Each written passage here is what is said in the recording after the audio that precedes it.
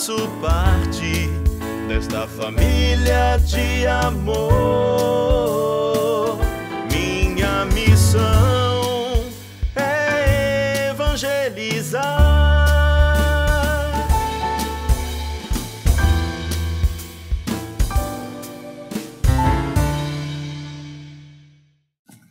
Nós estamos no ar. Bom dia para você que está aí para ficar informado sobre a fé e a devoção aqui no programa Pai Eterno. E nós começamos com o quadro Mãos à Obra. Esta semana tem engenheiro respondendo a perguntas feitas pelos próprios devotos no Facebook oficial do Padre Robson de Oliveira. Você acompanha e fica informado sobre o novo santuário que está sendo construído em Trindade, especialmente para o Pai Eterno e para os devotos de todo o Brasil.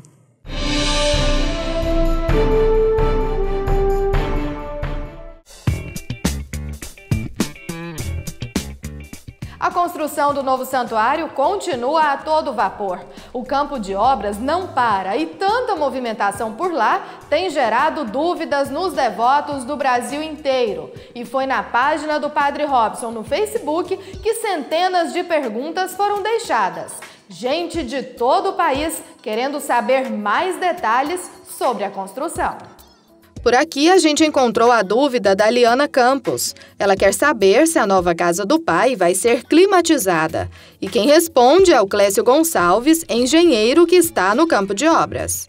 Liana, a nova casa do pai ela vai ser climatizada. Cada ambiente é feito um estudo de climatização para ser estudado melhor como é que vai ser melhor climatizado esse ambiente. Seja por um tipo de ventilação natural, por uma ventilação forçada, alguns ambientes são necessários ar-condicionado, mas tudo isso é dividido e estudado e projetado para cada ambiente para poder ter um melhor resultado final.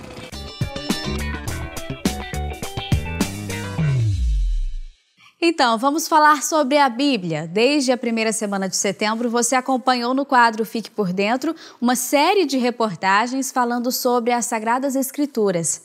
Para terminar, você vai ver que os textos da Bíblia trazem mensagens de libertação e salvação e confirmam a aliança entre o Pai Eterno e a humanidade.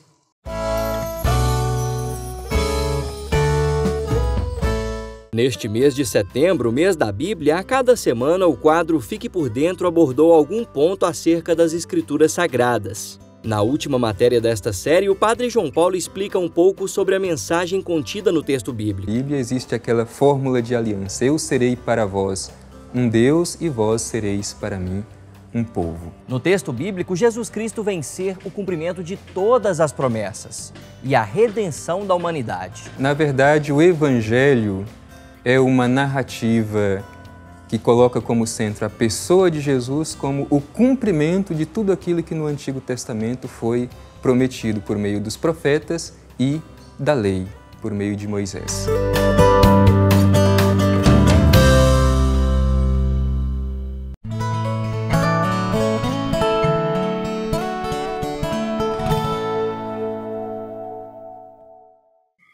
Vem aí a participação de um pessoal muito devoto lá da cidade de Formigas, Minas Gerais.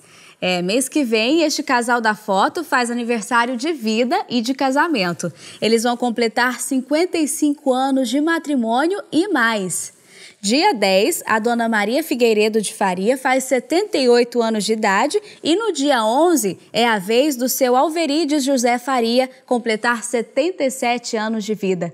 Aquele abraço do Padre Robson e de toda a nossa equipe, a dona Maria, seu Alverides e a toda a família. E a seguir, no programa Pai Eterno, você vai ver Em Nome da Vida. Nós te levamos para conhecer mais projetos sociais da Congregação do Santíssimo Redentor. É logo depois do intervalo, fique com a gente.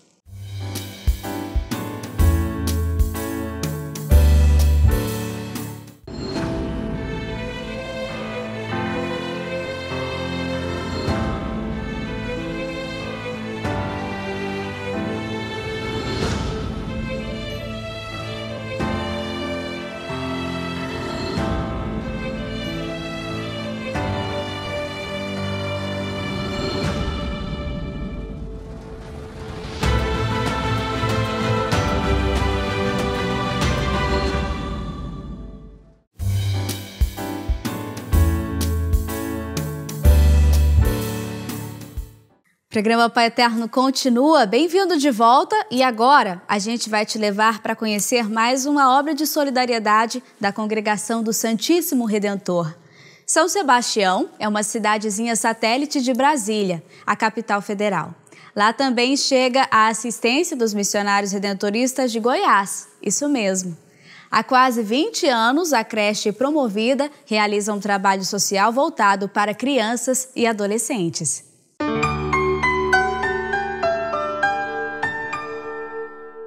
São Sebastião, cidade satélite de Brasília, Distrito Federal. Aqui, em 1998, um missionário redentorista, ao perceber a realidade de várias crianças nas ruas, resolve tomar uma atitude em relação a isso. É aí que nasce então a ação social Nossa Senhora do Perpétuo Socorro no trabalho da creche promovida, que atende crianças e adolescentes em situação de vulnerabilidade social. Promover vida essas duas palavras juntas dão origem ao nome da creche fundada pelo padre Júlio Negrisolo. E a missão da instituição há 17 anos é dar acolhida digna a crianças e adolescentes carentes e oferecer oportunidades de vida. Vendo que algumas crianças estavam ali no sinaleiro, no Lago Sul, e eles foram ver é, de onde eram essas crianças. Aí viram que era aqui da cidade de São Sebastião, essa cidade satélite bem próxima aqui né, da, do centro de Brasília.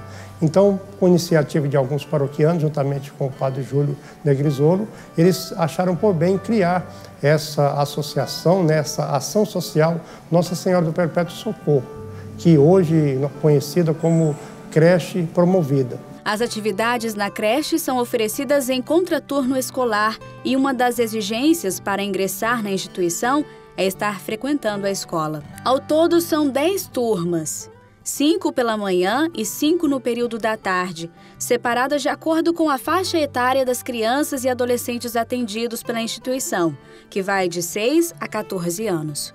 São filhos de moradores da cidade de São Sebastião, que na sua maioria estão fora da cidade, trabalhando em Brasília, que é cidade é, administração regional de São Sebastião, uma região administrativa de Brasília, e os pais se deslocam muitas vezes para fora da cidade. E aí onde que as crianças ficariam sozinhas. E nosso trabalho é acolhê-las, oferecer o máximo de carinho, de atenção, compreensão para que elas tenham esse essa, esse retorno, eu acho essa, essa garantia, não retorno, mas essa garantia dos seus direitos.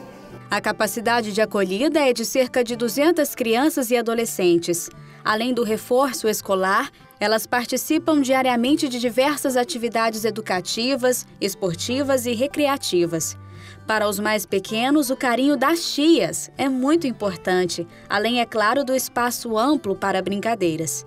Para os mais velhos, a prática de esportes. As aulas de informática, teatro e música são para todos. A obra ela tem que manifestar, ela tem que aparecer com o espírito de fé que esse grupo pensou lá no início, continua levando dentro dessa espiritualidade redentorista e que a promoção da pessoa humana seja levada. A maioria do pessoal que trabalha na Promovida é voluntário. São pessoas que colocam suas habilidades em prática para ajudar no crescimento intelectual e humano das crianças e adolescentes carentes. A Diana é aposentada e hoje oferece o trabalho voluntário. Ela é uma das responsáveis pela biblioteca da instituição. Eu vim fazer um trabalho voluntário e me pediram para organizar os livros que já tinham sido eh, recebidos como doação. Coincidentemente, eu sou bibliotecária, então foi um prazer organizar a biblioteca. São cerca de 5 mil volumes das mais diversas especialidades. O acervo é fruto de doações da comunidade em geral e o interesse pelos livros já foi motivo de muitas histórias de superação. Nós temos um acervo de referência é, com enciclopédias, dicionários, é, e literatura infanto-juvenil, alguns livros didáticos, muito poucos. E poucos também de literatura brasileira, que já estão direcionados para as crianças que vão fazer o Enem e para os professores também.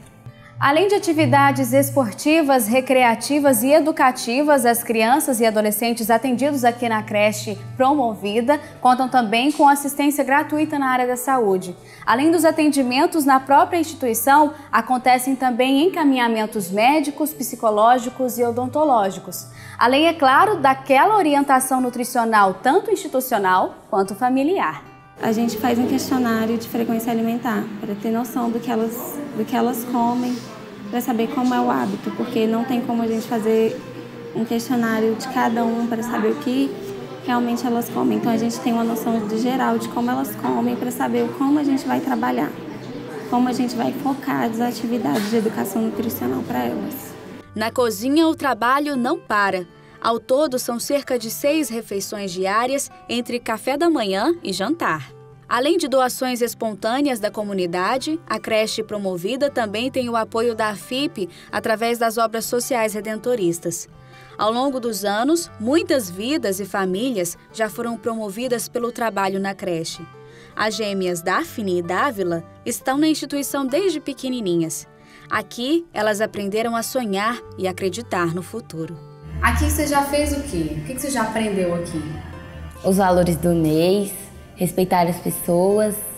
Já fiz música, já fiz música, é, flauta, coral, informática, informática também. O que, que você pretende fazer daqui para frente? É, estudar e uh, conseguir fazer a faculdade. O Vitor é mais pequeno e já tem planos para o futuro também. Ser jogador de futebol. É aqui eu tenho a oportunidade de seguir minha carreira. E os sonhos vão sendo sonhados e realizados. O trabalho da creche promovida dá incentivo e perspectiva de vida a todas as crianças e adolescentes atendidos pela instituição.